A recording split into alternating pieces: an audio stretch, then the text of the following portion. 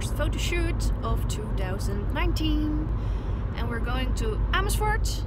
with my lovely dog over here and my mom. And uh, we're gonna do a photo shoot with Original Cin Photography, Dingelientje and Ashley uh, de Mura